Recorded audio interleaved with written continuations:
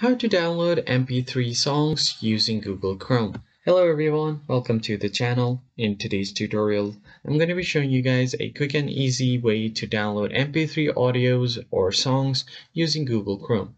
But before we get started, don't forget to leave a like down below and subscribe to the channel. Now let us jump right in.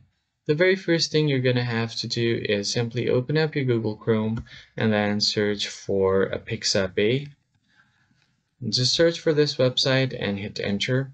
Now here you will be able to find free stock video footage, sound effects, and different songs as well, royalty-free music. So go ahead and open up this link right here. And once you open it up, just scroll down a bit and you'll be able to see all of these uh, different options.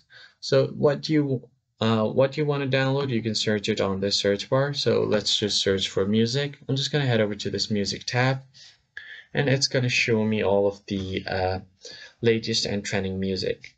And in order to download the music, you can click on this to start playing the music or click on this play button like so. And it will start playing the music. And if you want to download it, click on this option right here and it will start downloading right away. Now as you can see the mp3 audio has been successfully downloaded on my PC and that's how you can easily download audio mp3 audio from uh, Google Chrome. I hope you found this tutorial helpful. I'll see you guys on the next video.